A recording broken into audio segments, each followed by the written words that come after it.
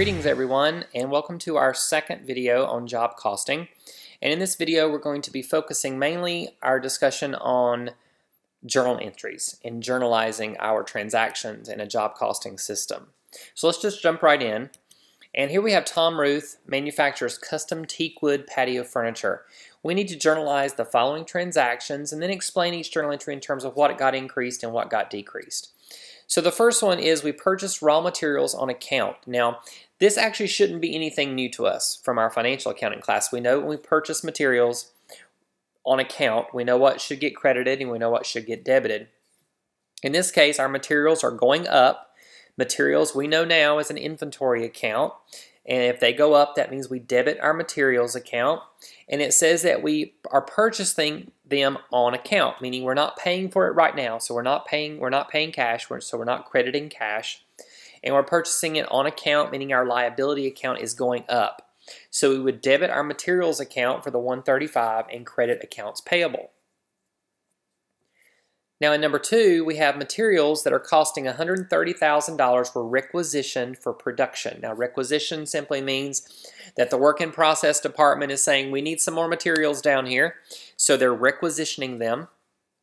And of that total 130,000, 30,000 of those were indirect materials. So that must mean that 100,000 of those 130 is direct material. So now we have to remember that or where direct materials go and where indirect materials go from our prior discussion of the flow of those costs. So we know if we look back at our map of how those costs flow, when materials are used, they come out of our materials account with a credit, so our materials are going down. The direct materials go directly into process, so they are debited into work in process, and the indirect materials are debited to overhead. And if you look back at the map that we drew in the prior video, you can see exactly what's happening here with this journal entry. Okay, so we're debiting work in process for the direct portion of these materials, and we're debiting overhead for the indirect portion of these materials, and crediting materials for the total because all of our materials are housed in our materials T account. So let's move to labor now. Here we have labor time records. They show that direct labor of $22,000 and indirect labor of $5,000 were incurred but not yet paid. That means cash is not being affected here. So we're going to credit our wages payable for the total amount as we saw in our map that we drew in the prior video. So for the total amount of $27,000, we're going to credit wages payable. We also have to remember that direct portion of labor goes directly into process with a debit to work in process and the indirect portion is going to move down into overhead with a debit to our overhead account. Okay, so the, the process here is to keep that map in your mind that we drew in the prior video. Debiting work in process for the direct cost and debiting overhead for the indirect cost. So now I'd like for you to try one. Here we have Seattle Creations. They report the following labor-related transactions at its plant in Seattle, Washington. So we have our plant janitor wages, our furnace operator wages, and our glass blower wages. We need to journalize the entry for the incurrence and assignment of these wages. Now that's one compound entry that you just saw in the prior slide. One compound entry for all of this labor. So press pause on your player See if you can figure out what goes into work in process, what goes into overhead, and what you're crediting that wages payable account for. And then come back and we'll look at it together. Okay, so let's see how you did. Let's go through each one of these first of all and determine what we think is direct labor and what might be indirect labor. So we have plant janitor's wages. So as we've discussed before, anytime you see the word plant, you know that that is overhead.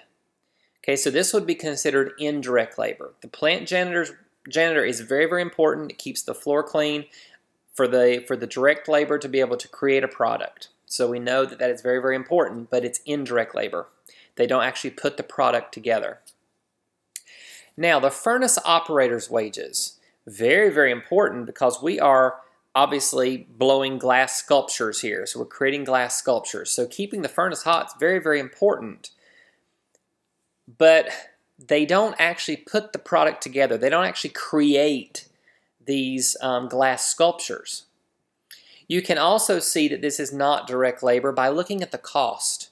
Look at the difference in the glass blower wages and the furnace operator wages. The significantly different there, how significantly different they are.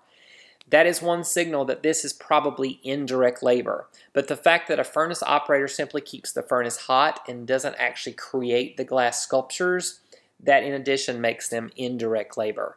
So the only direct labor we have in this list is the glass blower wages. So that 77,000 is the only amount that would go directly into work in process. The other two labor accounts would go into overhead. So we would have a debit to work in process of 77,000, a debit to overhead for the plant janitor and the furnace operator wages, and we would credit wages payable for the entire amount of all of our labor that we have incurred. So in this problem, we're going to be looking specifically at our overhead T account and determining what our balance is in overhead prior to application of overhead to production. So here we have Evergreen Furniture. They manufacture wood patio furniture. The company reports the following costs for June. So we have our wood, our nails, glue, and stain, depreciation, indirect manufacturing labor, depreciation on the delivery truck, and assembly line workers' wages. And again, we want to, to figure out what would be the balance in that overhead account prior to applying overhead into process or into production. So moving it to the work in process T account. So again, I'd like for you to attempt if you could label each one of these in this list and determine what is direct materials, what's indirect materials, what's labor, what's other overhead, etc. And determine what might end up in that overhead T account. And then we'll come back and see if we if you did it correctly and we'll work it work it through it together. Okay, so let's look at this list of things you've done here and figure out what each one of them might be included as. So we're creating wood patio furniture. So wood, you can see the cost of that wood, is probably a direct material. So it would not end up in the overhead T account. Nails, glue, and stain, small cost of the product, not a huge prime cost there. So that's probably an indirect material. So that would be considered part of overhead. Depreciation on the saws, well, saw is used to saw the wood, so that's part of the manufacturing process.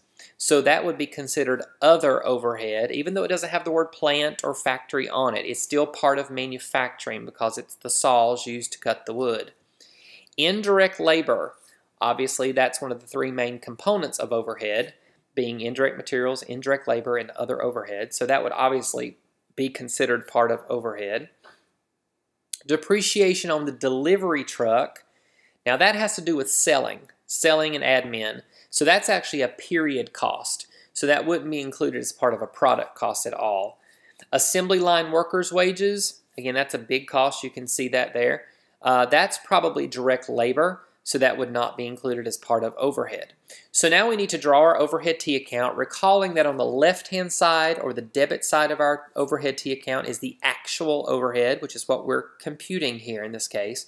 And the right-hand side, the credit side of the overhead account is the applied overhead or allocated overhead, which we'll talk about later.